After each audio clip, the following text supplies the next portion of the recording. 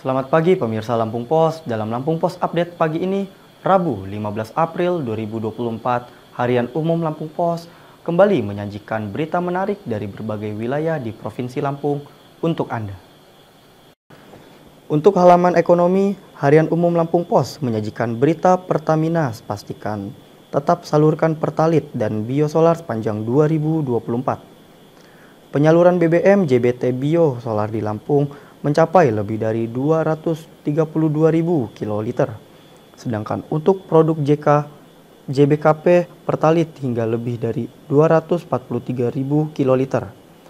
Pertamina Patra Niaga Regional Sumbaksel berkomitmen untuk menjaga penyaluran BBM subsidi seperti pertalit dan biosolar. Pertamina juga mendorong digitalisasi untuk penyaluran BBM subsidi. Hal itu melalui program subsidi tepat. Lanjut di halaman daerah, Harian Umum Lampung Pos menyajikan berita penjabat Bupati Lampung Barat. Nukman apresiasi reporter cilik Lampung Pos. Lampung Pos kembali menggagas program Lamp reporter cilik di tahun ini. Nukman menyambut baik program yang disebutnya sebagai program inspiratif yang akan melahirkan talenta muda. Peserta reporter cilik Lampung Pos adalah para pelajar tingkat sekolah dasar mulai dari kelas 3 dan 4 yang ada di kabupaten atau kota di Lampung. Masih di halaman daerah, Harian Umum Lampung Pos menyajikan berita Bupati Lampung Timur, Dawam Raharjo, melepas keberangkatan kloter pertama jemaah haji Kabupaten Lampung Timur tahun 1445 Hijriah. Pelepasan berlangsung di Aula Islamic Center, Sukadana, Senin 13 Mei 2024. Jemaah calon haji Kabupaten Lampung Timur sebanyak 385 jemaah.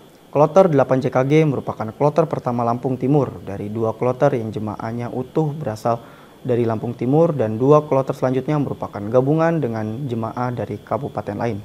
Dan di halaman Lamban Pilkada, Harian Umum Lampung Pos menyajikan berita DPD Partai Gerindra Lampung bersama DPD Demokrat Lampung membuka peluang berkoalisi dalam pemilihan gubernur dan wakil gubernur di pemilihan kepala daerah serentak 27 November 2024 mendatang. Rencananya, nama koalisi tersebut yakni Koalisi Lampung Maju seperti nama Koalisi Indonesia Maju saat Pilpres 2024, Prabowo Subianto dan Gibran Rakabuming Raka diusung oleh Gerindra, Demokrat, Golkar, dan PAN. Sahabat Lampung Pos, jangan lupa baca juga di edisi cetak harian umum Lampung Pos atau Anda juga bisa berlangganan koran digital di lampungpos.id. Dan dukung terus kami dengan cara subscribe serta follow akun sosial media Lampung Pos lainnya.